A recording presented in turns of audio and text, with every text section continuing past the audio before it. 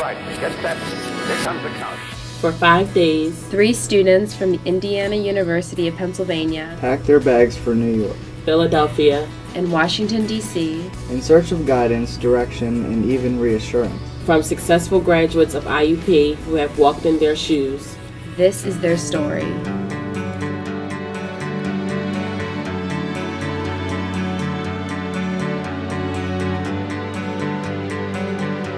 I just really fell in love with IP with the campus. I'm just so happy that I came to IP. It was probably one of the best decisions I've made so far, I think.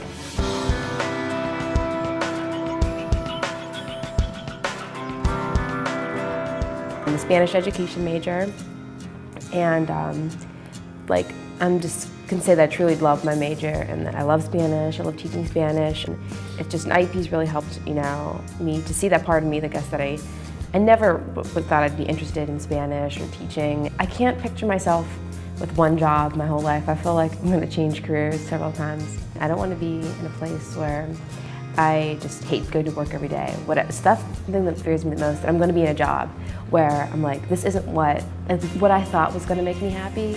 Didn't. I'm just really happy where I am and where the future is going to lead from here.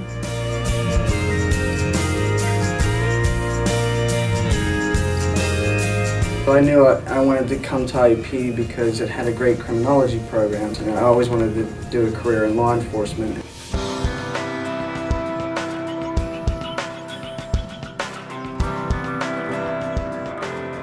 In high school, I wasn't ever planning on going to college because I never took school seriously until um, until I started working as a dishwasher and I realized I didn't want to wash dishes for the rest of my life. So I said, school's probably a good idea. And now I'm planning on a career in law as a prosecuting attorney so that I can stick with my law enforcement but do something more intellectually challenging and more fulfilling, I think. Uh, I read an article uh, regarding college graduates with bachelor's degrees who are stocking shelves at Lowe's and college students with master's degrees are their managers.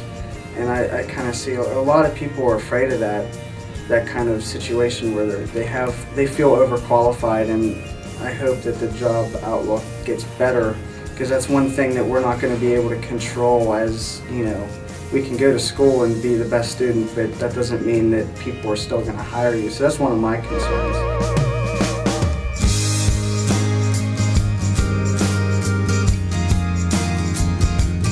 First generation college student. So when I graduated from high school, my only goal was just to make sure I go to college.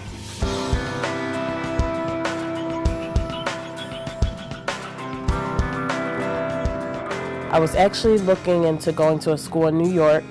Uh, then my cousin actually told me to check out IUP. She said the academics was just as good as a private college but for cheaper. I don't want to stay in one particular job the rest of my life. Um, so wherever the path leads me, that's where I'm going to go. I just hope to, even if I have to start at the bottom and work my way up, it's just the way that the economy is. Even getting a job in fashion magazines may be difficult, but hopefully I'll have a good end and I'm not going to put any limits on what I decide to do.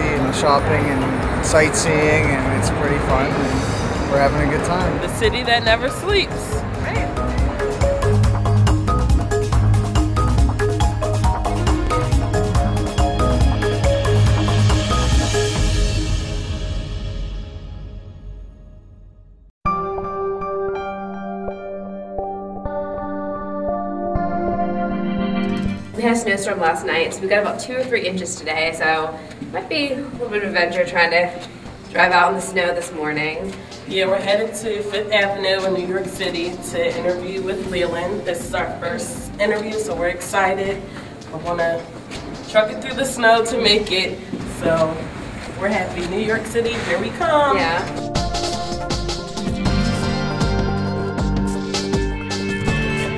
uh, if you did, you know, uh, all the things that you could do there, maximize your opportunity, you could do anything you wanted to do.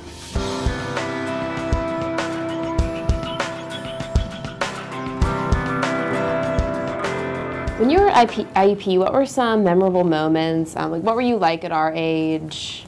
What was your favorite things about IUP? Oh, I mean, IUP uh, was uh, one of the greatest times of my life. The, the, years I spent up there, I actually spent five years at IUP instead of four, because I ended up, uh, you know, taking so many different elective classes. But at IUP, I enjoyed uh, every minute of it. You know, the the you know the, the, kind of student I was was diametrically opposed to the kind of student I was in high school. Uh, I went to Central High School of Philadelphia, which was uh, the top academic high school in the country, actually, public school.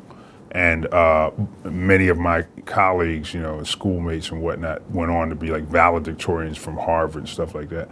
However, uh, I was not among that number in high school. I was uh, played around quite a bit, but I had a couple of areas in which I distinguished myself. One of those was in foreign languages. Is there a piece of knowledge that knowledge that you have for us uh, since we're approaching graduation, and something that we can take back to students at IUP for their career path? Just something that we'll be able to hold with us as we go through our area of study? Uh, I would say, uh, without question, uh, you know, uh, work so hard at IUP uh, academically uh, because um, that then creates greater opportunity for you if you should decide to go to grad school, even if it's at IUP. But take, I mean, just, you know, suck up all the knowledge that you possibly can while there. Um, with success, I think comes risks. And what was one of your biggest risks that you faced during um, your career? Uh, I would say boxing uh, while, you know, uh, working in real jobs because, uh, you know, you, you kind of looked at as an idiot, a fool, somebody who would risk getting their head knocked off, suffering brain damage, or whatever, you know, at risk of a career. Uh, but again, you know, you got to you know do what you love doing. So I know that you said in high school you didn't, uh, you weren't focused and you weren't sure what you wanted to do. Uh, with you coming to IUP, did you find a focus and did you figure out what you wanted to do by attending IUP? Well, I know I could have done everything I wanted. I could have gone straight to you know Harvard, Yale, or wherever I wanted to go out of high school had I applied myself like my friends did, and I didn't.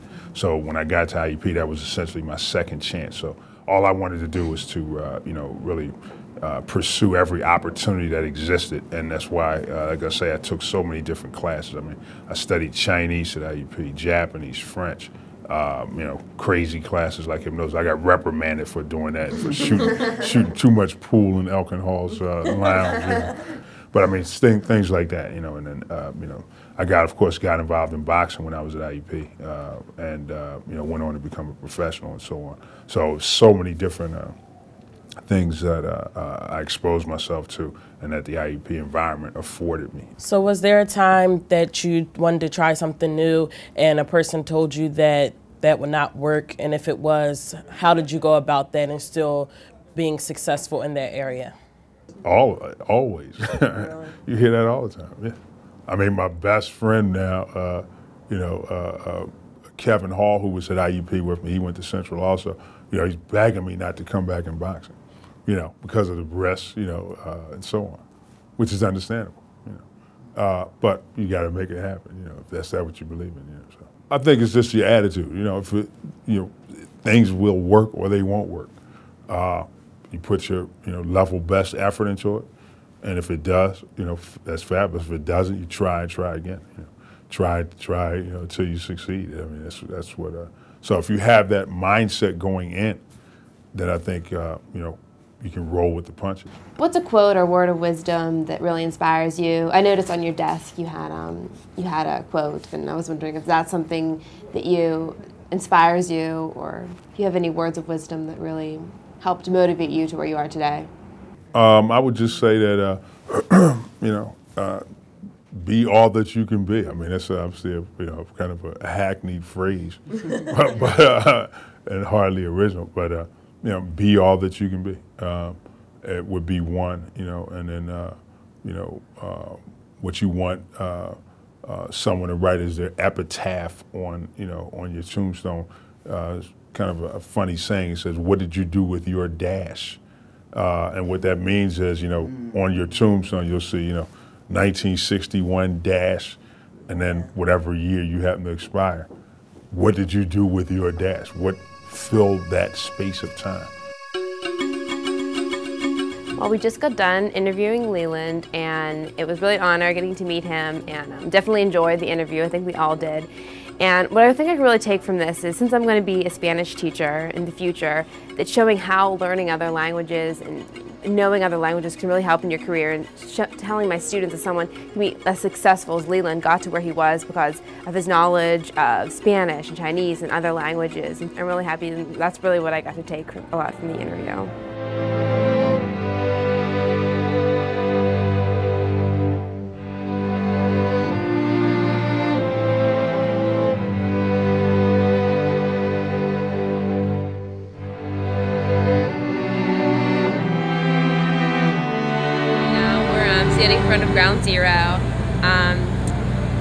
When 9/11 happened, I remember I was a senior, or sorry, I was a freshman in um, in high school, and I think it's everyone will always remember forever where they were in that moment, and it was just unbelievable. Cannot believe that this happened to you know our country, and now that standing in front of it, it's just surreal. It's can't believe how many years have passed since it's happened, and it's sad how you tend to forget, you know, because it's not you're not reminded daily. And being here, you kind of realize what used to be here and when, when, seeing it on TV as a child you don't really realize what's happening to your country. But now seeing all these memorials all the firefighters that died standing across from the fire department and seeing those memorials of the uh, firefighters that we no longer have it's it's really surreal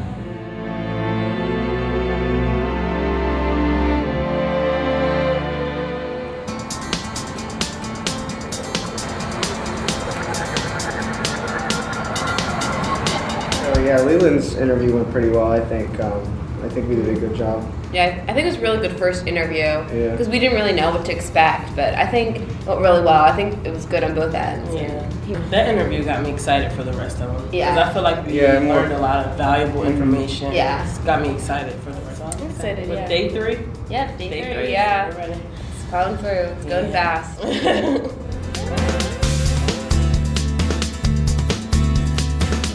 what about your personality makes you uh, want to teach and want to be a good teacher? I love all my children. Whether I get along with all of them, it doesn't matter. I love all my children. My goal is to get them, is to work as hard as I can to help them succeed.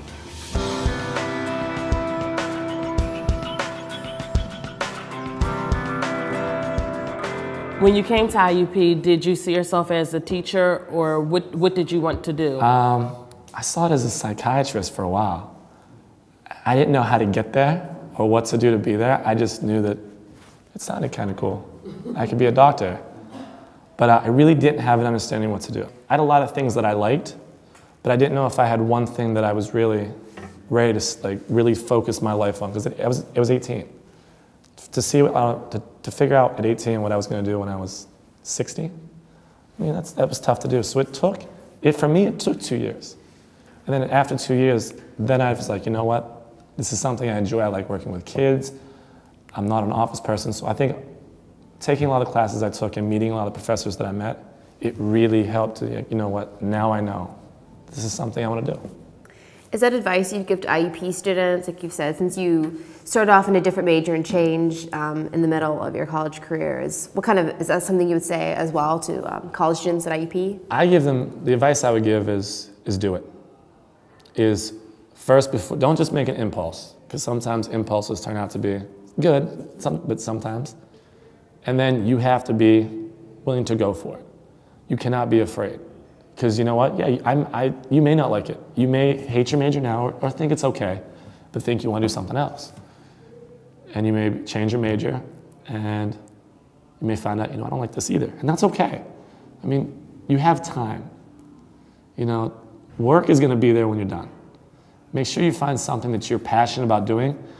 And if you're three years in, it doesn't matter. If you know that what you're doing now, you cannot see yourself 20 years from now doing, don't keep doing it because you'll end up stopping or you're hating it for, for as long as you have to do it. Change your major, find out what you like, talk to professors, talk to other students, and figure out what you enjoy doing. If you can get paid and enjoy and find a major in something you enjoy doing, go for it. Um, when you were making your transition into becoming an education major, did you always know that you wanted to be an urban, uh, urban teacher? Never.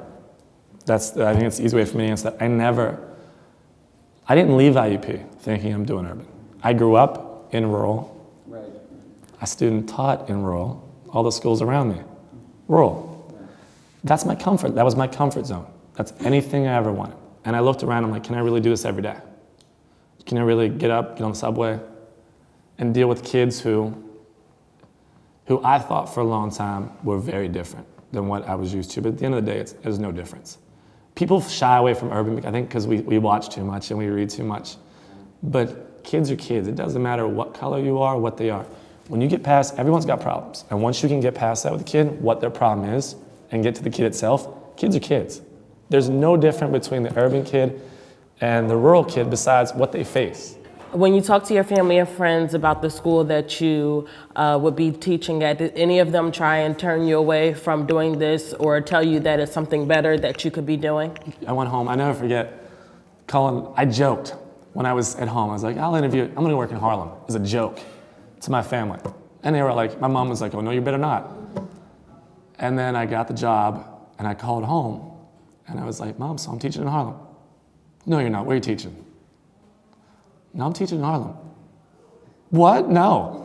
like they were just, they had seen too much on TV, they had heard too much that they think, I guess when you don't expose yourself to something like this, they all thought as soon as I stepped out in the city, my wallet would be gone and somebody was beating me up. My dad, my dad was very understanding. My dad was kind of, kind of like, Harlem. First, he was taken back because that name, Harlem has such a name. Sometimes there's some great things here, unfortunately, too many of the bad things. I'm going to play the part of the devil's advocate and ask, uh, why do you care for your students the way you do? To say, why do I care is because there, I see myself in them a lot of times. It's, I guess that's kind of cliche that you see yourself in the kids, but they're still like, they're, they're so moldable. There's, you have such a short window to do it, but you can change them not change them, but you can guide them. And I think that's why I care because my goal is to not only have these kids succeed in their own lives, but if they can succeed in their own life, their children will have a different life. And not only will their children have a different life, their parents will have a different life. So they can not only change themselves, they can change their family. I said before, these kids come from, from a rough place. Some of them don't have a great home life. Um, I have kids who live in shelters. This, for a lot of them, is the most stable thing that they have. So I have to maintain that. I can't allow this to get as crazy as some of the things that go on outside. This has to be home. So some of these kids, you'll see kids in here at 6.30. They don't want to be in your class fourth period, but they're here. They live here, and this is where they want to be. And so that's one thing. You have to develop that level of, of comfort, but you also have to make sure that you, there's that level. Like, I'm not your best friend. I'm not your buddy on the corner. I'm your teacher, but I'm still here to listen. Um, was is it a time that you set to say that you're successful, or is it? Are you at the point now where you feel as though you're you're uh, you have fulfilled yourself? It's hard to say. It's hard to put um, a date. like some sort of concrete. I'm gonna have this done by this date, or I'm gonna have. It's hard to do because everything is everything is so different. As much, I guess, as as great as it would feel to get to have a student come and say, you know what, you really helped me, and to validate. To me, what I do every day validates my career, my my decision to take that. Would that be amazing if they did? Yeah. But I can't, I can't do what I do with that on my mind. I can't be my end. I can't think that they're going to come back and say thank you. I don't need thank you. If they get a diploma, if they get a high school diploma for me, that's thank you. I know when we came in, we seen a lot of IUP things around the room. So speaking to your students on a daily basis, do you talk to them about college and that there is more that they can do after high school? I've told them from day one. I've told them since day one. Every one of you are intelligent enough, and after meeting them, to go to college. I do that because I don't know if anyone's ever told them that before. I don't know if anyone's ever said you're smart enough to go to college, because a lot of kids here in the urban setting, college is. You kidding me? College. Um, I had never heard of this until I came here. There is a huge graduation ceremony for, ceremony for our eighth graders. It's sad to say, but a lot of the eighth graders, um, because I mean, this is a high need school. It's a, it's a place where you know language. They don't kids don't have a great vocabulary. For a lot of these kids, their eighth grade diploma is all they ever get. So eighth grade is they get class rings, they get a big yearbook, they have a huge ceremony at a, a college near it in the Bronx this is that to them is like if I get the high school diploma, whatever. I mean, I get to 16 or 17, I can just sign myself out. So I preach college just because I think it's something beyond what they think they have to do. It's, we want to take back to IUP students and for us when we graduate, something to live by, something to keep us motivated while um, on our career path. So could you share with us something that helps you to keep going and moving forward? Don't be afraid when somebody tells you you can't do something or you shouldn't do something. I think we all get caught up in, in what we should do or what we thought we should do. When you graduate from IUP, I was blessed with a lot, with a lot, of, with a lot of tools to really succeed. But it wasn't just succeed in the box I've been in the whole time. You have to be willing to step out. Don't be afraid that's, that's the thing I would say. Don't be afraid to, to move a few hours away from mom and dad. Don't be afraid to do that. I've learned more being out here and learning something on my own about myself than I ever would have if I would have stayed. And I'm not, for some people when they stay, that's, that works for them. It's, it's, it's okay and that works for them, but, but don't be afraid. When someone says you shouldn't do it, find out why not. Don't take someone else's word for anything. You, you, can't, you can't get that job. Why not? You can't, you shouldn't go here. That's too far. Why? I mean, don't, don't be afraid. That's my, that's my, my overall advice for any IUP student that's graduating is do not be afraid to take a step out. Well, we just finished our interview with Matthew Edmondson, and um, it went really well, and I'm really happy we got to meet him and talk with him today. Um, I really think he broke um, up a lot of the stereotypes of inner city schools and inner city students and really opened our eyes to what they are truly like and how it is a very satisfying career as a teacher in an inner city school. And um, I found him, his advice to be very inspiring, and I hope, and I hope that I can be a teacher like him in the future. And I wish him luck and future years at um, Roberto Clemente. Now we're on our way to Philly and um, we have four more interviews to do so it's going to be next busy few days but I'm excited and we all are and we're ready to you know get through these next few so.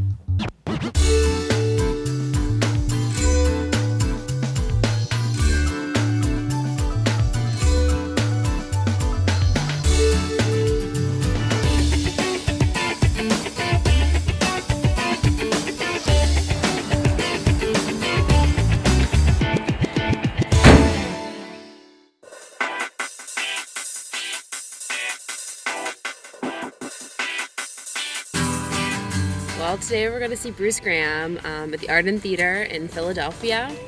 I'm really excited. Um, he's playwright. He's done a lot of really cool stuff. Um, Dunston Checks In, Anastasia, the movie. So he definitely has written a lot of plays and for TV shows. So I'm really excited Mhm. about meeting him. And Yeah, me too. It's gonna be uh, something completely different from what we've seen so far. Yeah, And we have two interviews today. Yeah. We have Kim with uh, KYW, so that'll be interesting.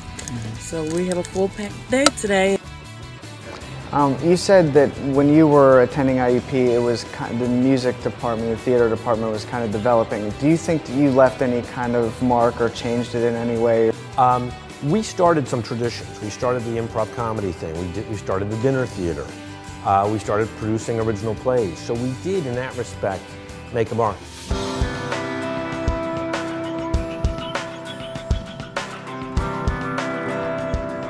Um, IUP, well, back, this is 1975, and I'm a freshman. Um, and IUP was a little smaller. Um, the town was a little smaller. Uh, and the department, I was in the theater department, was actually part of the English department. So we didn't even have a real department. Um, I went there because it was 300 miles from home.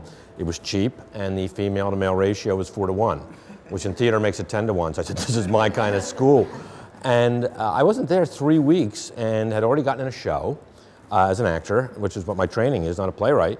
The thing about IUP that was great was that you had to do everything. You know, um, we produced our own dinner theater in the old student union, and we're hanging lights one day and realized, uh, these aren't too secure. Let's get wire hangers, you know, and, and double secure them. So we took all the coat rack hangers, and that's what we did. But that's how you do theater. No one's going to hand you a, you know, a perfect situation. Um, and so you got to ad lib, you got to be creative, and sometimes you got to steal things out of the coat room. When writing your plays or acting, do you find yourself using things that you learned at IUP? Oh yeah, well, like I said, the whole it was funny for years. Uh, you could you could look at my work as my Western Pennsylvania plays and my Eastern Pennsylvania plays. Um, Moon over the Brewery is, it, although it, in my mind it takes place in Pottsville, which is more east, but it's a very IUP small town feeling to it. Like I said, I never lived in a small town, and for four years I was in a small town, and it really taught me a lot about first of all, finding a sandwich, but secondly, just a different atti- attitude. Listen to my Philly accent here. Um, a different way of life. Um, Minor Demons is an IUP play. You know, that takes place in Pittsburgh. Um, Early Good Evenings at Rainbow Bar and Grill, like I said, is Patty's Bar. Moon Over the Brewery, you know, is a Coal Town play. Um, Dex and Julie sitting in a tree is IUP, you know, right? So in that respect, yeah, I, I just I can't shake it. A lot of times students uh, go to college not knowing what they want to do or they think they know what they want to do and it changes. Um, you said you always wanted to be a playwright. How did you know that's what you wanted to do? I, well, first of all, I'm 52 and I'm still not really sure what I want to do, so I don't feel, if you know what you want to do at your age, that's great. And there's nothing wrong if you don't know what you want to do. Um, you know, uh, I, just, I just knew I wanted to be in the entertainment industry. Um, don't rush into response. If you're not sure you're going to be happy with something, don't burden yourself with things. Go read Thoreau. All right, uh, you know, you don't own a car, a car owns you. If you're not sure what you want to do, don't put a bunch of anchors around your neck. You know, keep as free and as light and as fast moving as you can.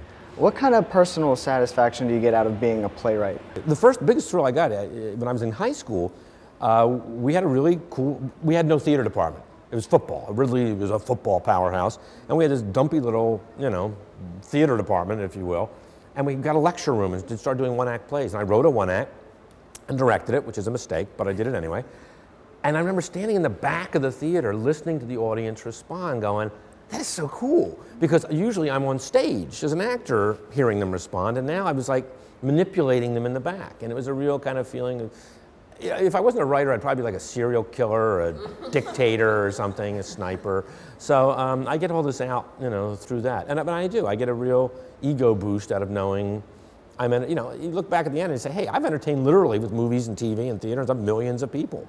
Um, they don't know my name, that's fine with me. Uh, you know, as long as they get it right on the check, I'm fine. But, you know, you like to think you, you, you left and you did. I'm not going to find a cure for cancer or anything. Well, maybe next week, but um, I'm working on that in my basement. Um, so, you know, you feel like you've done something. What is one of the greatest risks that you've taken in your career? The greatest risk, I think, was quitting a full-time job. I had a, you know, I was tenured faculty and um, in, a, in a nice school district that liked me and supported my writing habit, you know, all they could. And they gave me a year off to go to grad school. I went to Villanova and uh, to That was my excuse. I'm going to get my master's. Um, and I ended up just seeing if I could make a living as a writer. I'll never forget my, my, my, uh, my father, you know, was very blue collar. My friends, my relatives are all like, are you nuts? You know, walking away from a job where, you know, you, they can't fire you unless you like set the school on fire or something. Um, and I said, no, I, I got to try this. Do you have any parting words for IUP students that are getting ready to graduate? Well, don't worry that you don't know where you want to go if you're 19, 20, 22. Don't let that frighten you. Um, you have, you know, I always tell my students writing a play, you have to know sort of where it ends up. You know, maybe you, I akin it to, I'm going to California. I don't know if I'm going to San Diego, San Francisco, or LA. I have a direction. Most times you have some sort of direction. There's something that interests you, whether it's uh, on the math and science end, medicine, law, theater, something realistic. Um, you have an interest. You know, try and find something that's going to play to that interest, and then be realistic. That no one has ever handed you know, unless you're, you know, Charlie in the Chocolate Factory and this is what you want to do the rest of your life, um, you know, you're never going to get the perfect situation, so you make the best of it. Jeffrey Katzenberg, guy who uh, co-owns DreamWorks, said something years ago that he says, uh, you knock on the front door. They don't let you in the front door, you go to the back door. They don't let you in the back door, you tap on the window. Then you go to the basement door, and then you go back to the front door, and eventually they're going to open a door or a window. You're going to get in, but you got, you can't give up. Um, Bruce was really great. Uh, I really liked him a lot. He was down to earth, he was funny, he had a lot of great things to say. Um, I liked what he said about knocking on the window, knocking on the door. You know, eventually they'll let you in because that's kind of like you're not always going to have doors open for you. And uh, it's just really good to hear someone who's so He's so down to earth say that and it's he's grounded in reality and, and, I, and I really like that about him. It's been helpful to hear that because it, you know that you're not always gonna make a million dollars with what you're doing. You're gonna be doing what you love to do and he's and he's living proof of that and it's great to hear from him and you know I hope I, I hope people can can relate to that and I, I know I certainly did.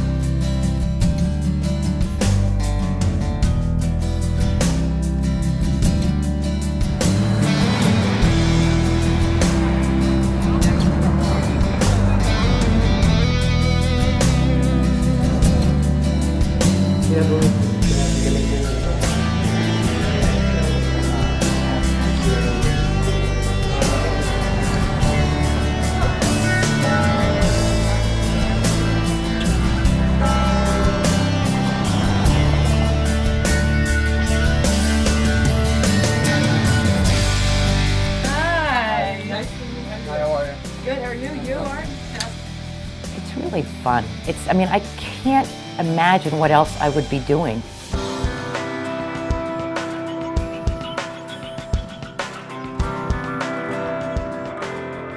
So we would like you to tell us how you how were you at our age when you arrived at IUP? Well, um, I, I went to uh, IUP. I lived. I was born and raised in Easton, and I went to IUP because my uh, high school guidance counselor told me it was a great school for journalism, and uh, it was one of the only schools that actually had their own journalism department, which is one of the reasons why I really liked it there. And um, went out there, and I lived in Whitmyre Hall, and it was all girls, and and so I went into radio, and I started working at uh, WIUP FM, and uh, I became the jazz producer. There was a whole block of time between 7 and 10, Monday through Friday, and that was jazz programming. And I became the jazz program director.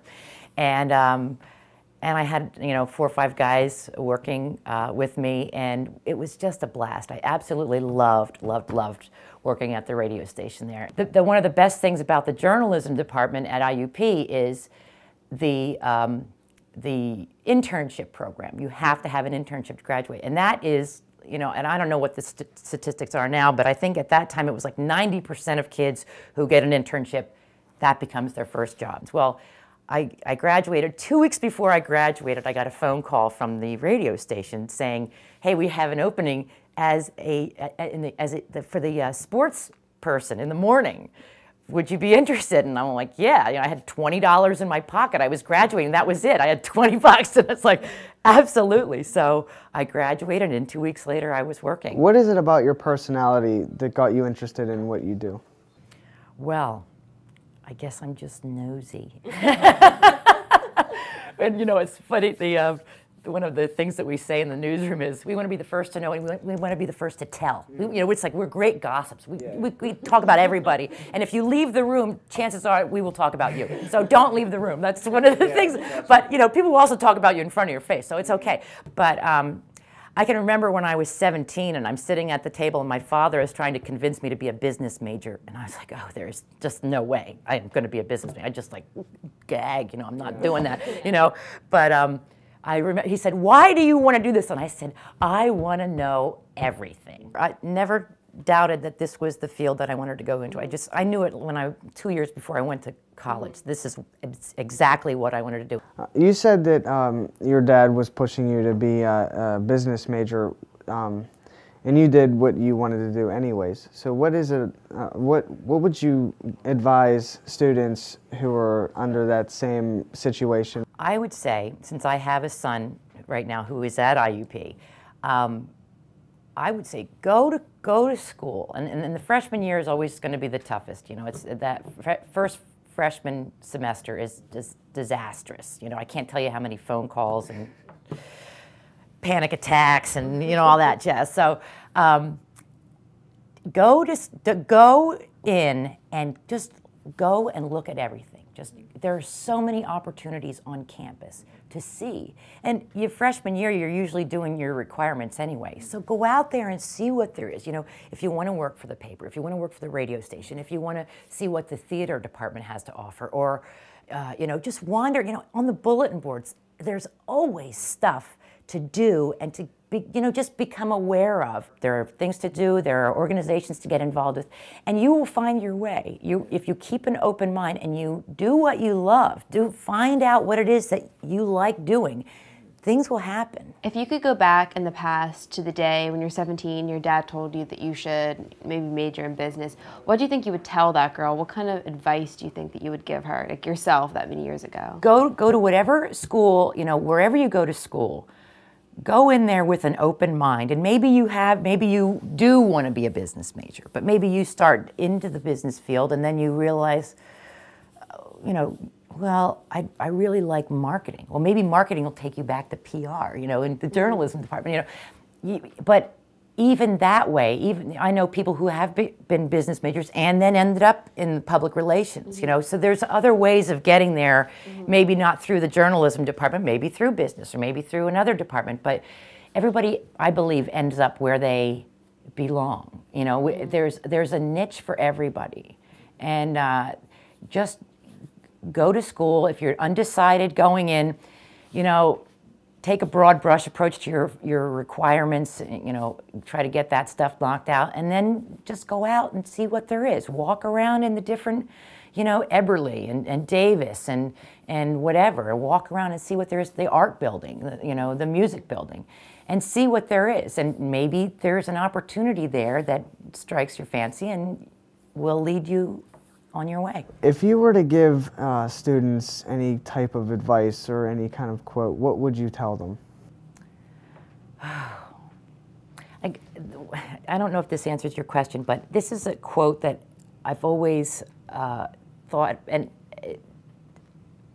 and I, now I see it in classrooms on bulletin boards and stuff. Shoot for the moon, and even if you fail, you'll you'll land in the stars. You know, you just try to do the absolute best you can. And you may not, you know, hit, you know, your zenith, you know, but you're gonna you're gonna hit somewhere up there, and it'll your momentum will just take you. And it's just all about. you're gonna have bad days. You know, there, there's this Dr. Seuss book. It's and it's, I forget the name of it, but it's about uh, when you grow up, and it's a great graduation gift. I have it upstairs, and uh, the places you go, you'll go. Oh, the places you'll go, and um, that's a great book. That's a book that every college graduate and high school graduate should read because sometimes it's going to be scary and sometimes it's going to be dark, but you just got to keep plugging away, and you'll end up in the right place at the right time. So we just wrapped up our interview with Kim Glovas. Uh, it was an amazing interview. Personally, her being a journalism major when she attended IUP, I learned a lot of great information from her about how she still stay, stays true to her morals and values, and also hearing that her father wanted her to be a business major, but she still followed her own dreams. That really gives me and the other uh, students a hope to do what we really have a passion for and be successful. So it was an amazing interview, and now we're heading to Washington, D.C. to interview with Elaine and Stephanie. So here we come, Washington, and we're really excited.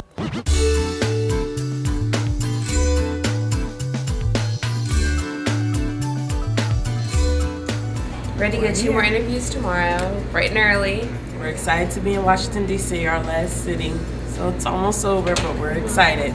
Yeah.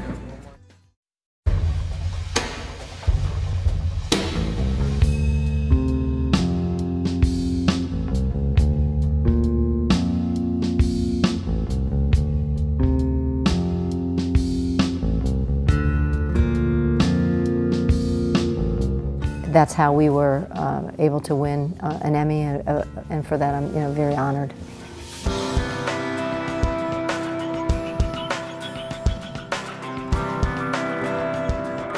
So could you tell us about how you were at our age? Seems like it was just yesterday. I loved IUP so much. And I um, came from Maryland. IUP was kind of far away from me. It was um, four and a half hours going into a whole new part of the world from living in basically Washington, D.C. and coming up to a whole no, new part of the world. And I, you know, I loved it.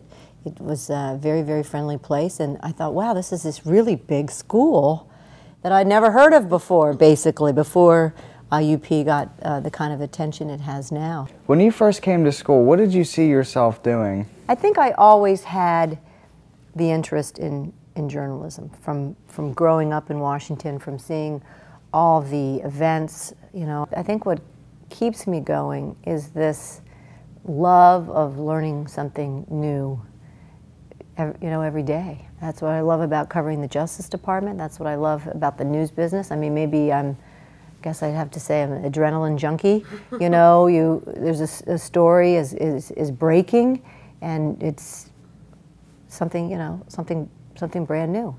What kind of things did you do at IUP that helped you to get to the point you are today? One of the best things about IUP that I didn't realize at the time when it was I think probably after my sophomore probably after my sophomore year was that there was a pro an internship program and I was able to get an internship at the local NBC station in Washington.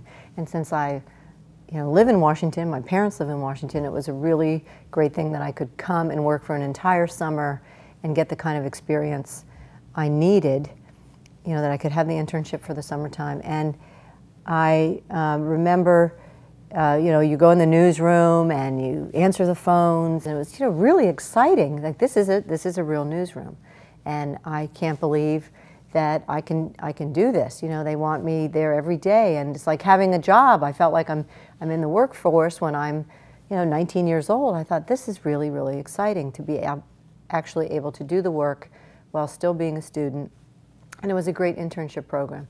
So from the IUP internship, then having NBC News on my resume, then I was able to get a job after that at this little teeny startup thing in 1981 called Cable News Network, which was at the time completely brand new. Nobody had ever heard of it. By, but by having the internship from IUP at NBC, I was able to get a job at CNN. Uh, tell us the story uh, behind your uh, winning the Emmy.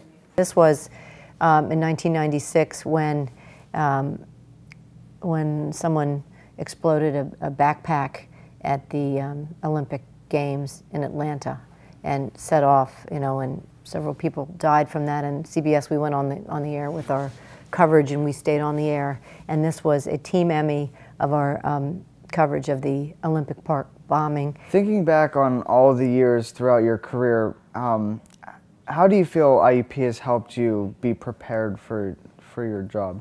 Um, having a broad-based education, I think being in a really friendly part of the world, I think that helped me talk to people too, and you realize you're in a, I mean, it's a competitive environment, but being, you know, I, I, loved going to IUP for the whole part of it. The friends that I made, the, the professors were great, the career counseling, said, oh, we have this internship program. The whole experience, I think getting a very solid, a, very solid broad-based education really, really prepared me to go out into the world. You know, I, I left, I graduated, I feel like feeling really good about things. I just felt like it was a very well-rounded education. So is there a quote that you live by every day to keep you going, uh, to share with students that are entering into their career, or even students coming into college to help them? Yeah, I guess it's just a personal motto of every day getting up the, the you know, I, I have a, a, a poet, an English poet, I kind of a, like poetry as much as I like the news, and she said, you know, about the day, you know, the world is not with us enough, oh, oh taste and see. That go, you know, you wake up in the morning and you say, what, what is out there today that I, I didn't know about yesterday that I want to go out and I want to, I want to find it. That to have that hunger, to, to love what you're doing, that's important if, if you're studying something and you just don't like it. You know, it's not you to to do something that you really like doing. I, I, have to tell you, when I went to IUP, I already knew that I liked journalism. I liked. I worked at a. I also worked at a newspaper where I cut the type and put it in the like I did newspaper. I knew I liked that, and I, I think just to trust your gut instinct. Trust your gut. That's a, that's another that's another thing I carry around with me. You know, be true to yourself and, and trust your gut instincts. Stephanie's interview was amazing. She gave us so much information about her career path, starting at a company, CNN, that is now just huge and everyone knows about it. It was just amazing to see how she evolved. And she just gave us so much information about how she has become this great writer, great news uh, reporter, and it just makes you look at life a lot better on how you can accomplish things that you may have thought you never could have. So I think that um, me as well as the other students have a lot of good information to take from this interview.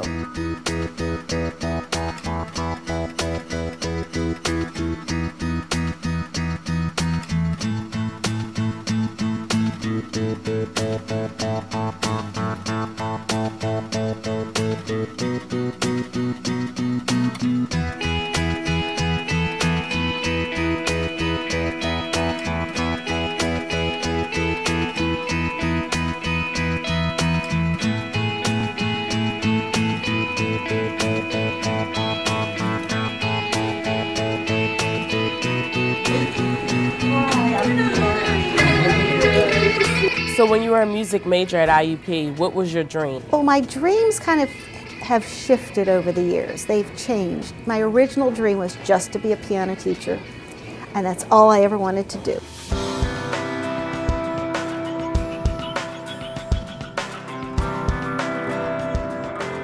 What were you like when you were our age? I uh, started, well, I grew up in a large Greek family, and um, every activity of our family in, involved food and music.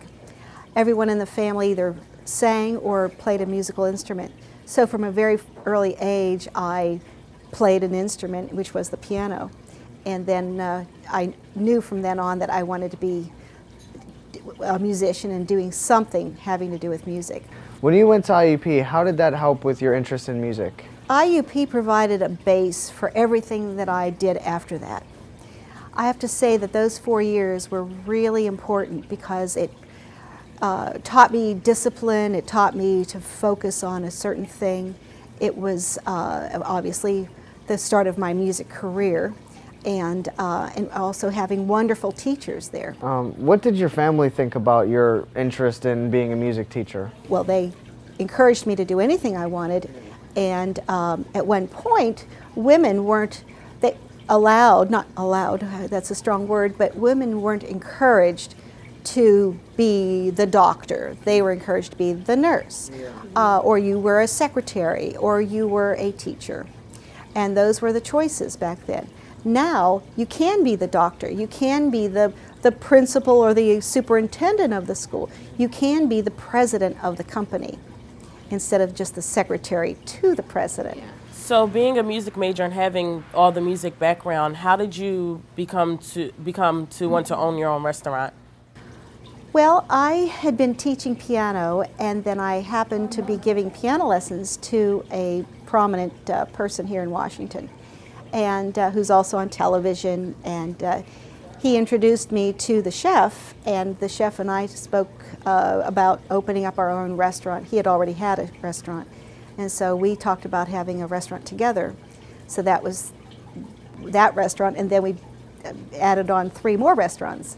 And so, uh, so now we have five here in the States and one over in Italy. It seems like you have two passions, music and the restaurant business. How do you feel like both of those passions have intertwined? It's doing something you love. So whether it's playing the piano and teaching or serving a wonderful meal to somebody, those are two things that, that cause you great joy. And it causes another person great joy. If they can uh, listen to your music and, and feel good about it, if they can enjoy a wonderful meal that you've done and feel uh, satisfied, then you feel like you've, you've done your job. When did you feel like you, you reached the point where you actually helped someone uh, through your teaching of music? Well, I think everyone has this urge to be the best that they can be. And I feel that sometimes my best hasn't come yet.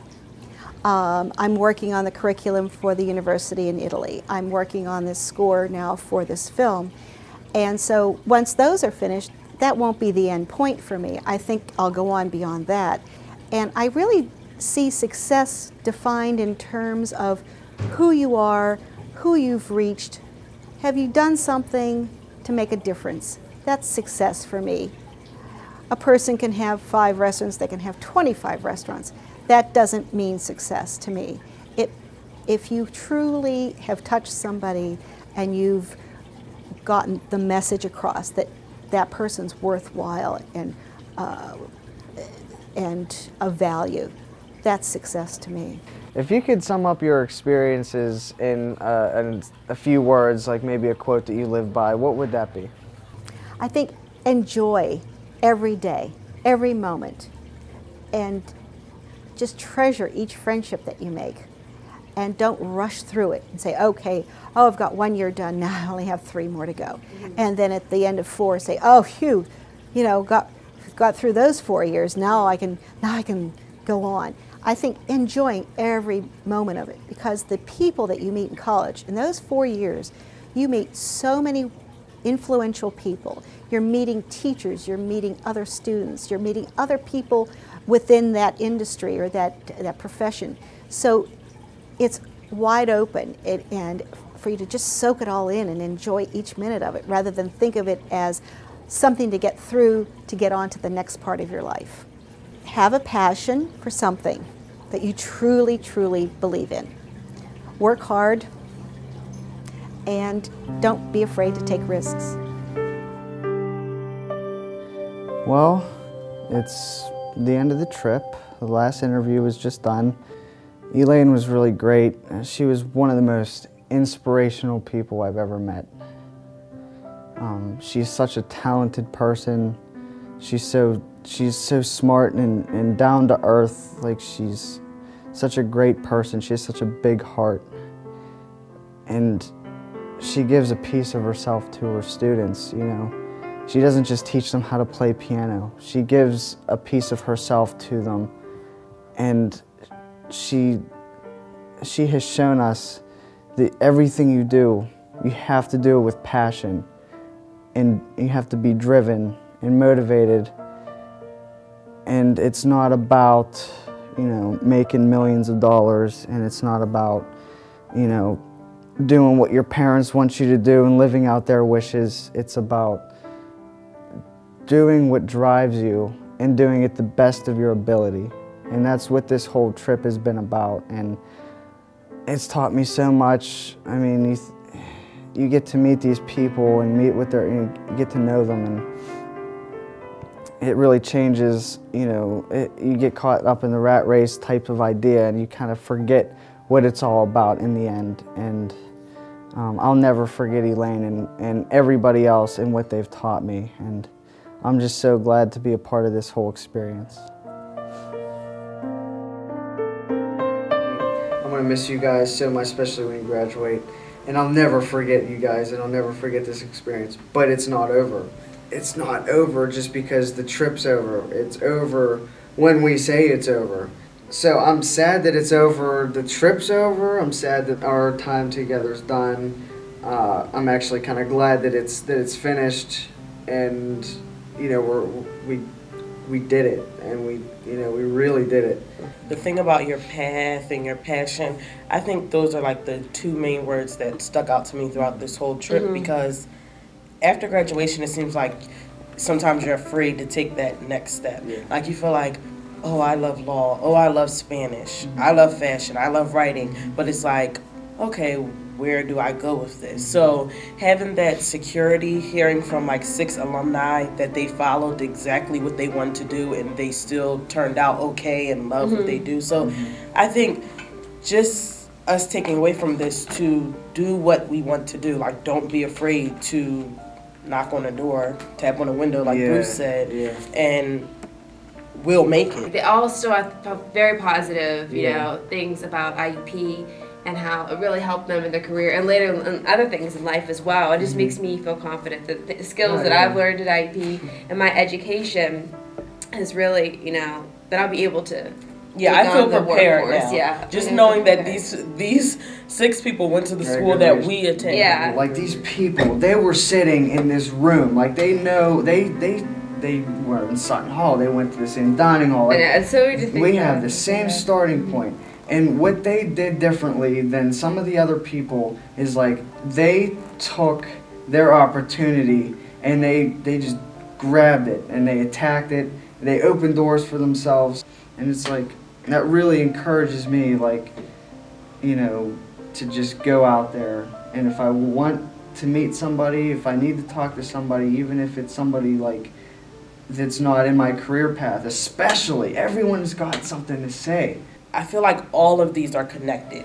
Like Leland starting off with like going global and really stepping out there, like not staying in a box of what you're comfortable with. And then everyone following him, telling you to go down that path that you may be afraid of. It's just like everything is linked together and it just gives you so much courage to do that. When people come to college, sometimes they put what they really love on the back burner because it's like, oh, you're not going to make that much money in this Mhm. field, or I haven't heard too much success in this area. Yeah. And now I feel like no matter what, all of these people are still happy. Success has such a bad correlation with the with the word success with money. Do what you love. You do what you're passionate about, and you do it with your whole self, your whole heart, and your whole mind. Then you are true and and to yourself and to everyone, and you're successful. You never know, you know where the road's going to take you, so to speak, and you just you got to be you, know you don't always need directions. So just go for it you know just take just go and see where it leads you. And you know maybe one day you'll have students knocking on your door you know just mm-hmm. asking about your life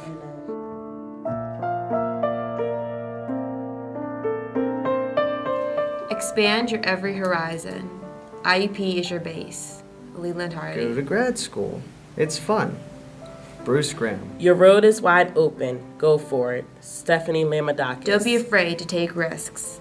Matt Edmondson. follow your passion elaine sheets Find your door, then open it.